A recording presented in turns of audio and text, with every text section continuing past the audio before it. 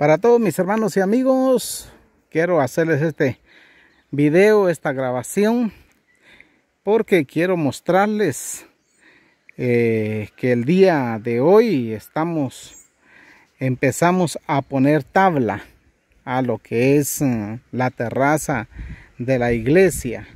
Solamente observen, mis hermanos y amigos, la altura que va a tener este, esta iglesia Realmente sí es un edificio, pero es una terraza que estamos echando porque de aquí para allá todo eso así va a ser la iglesia.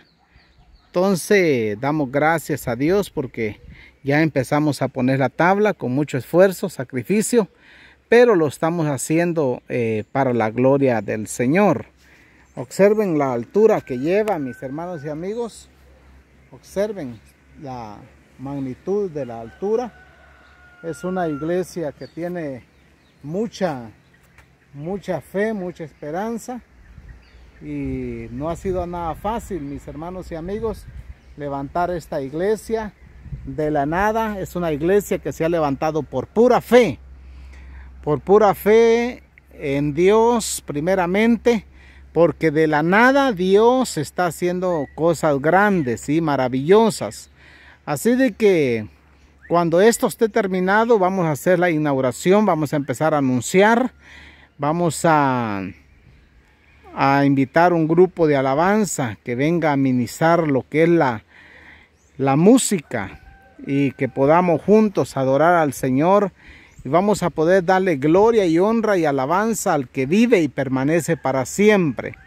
Así que un abrazo para todos mis hermanos que han colaborado en la obra del Señor, aquellos que no han endurecido su corazón para ayudarnos, pero también un abrazo y un saludo y una invitación para aquellos que no lo han hecho, que nunca han invitado, nunca han enviado una ofrenda.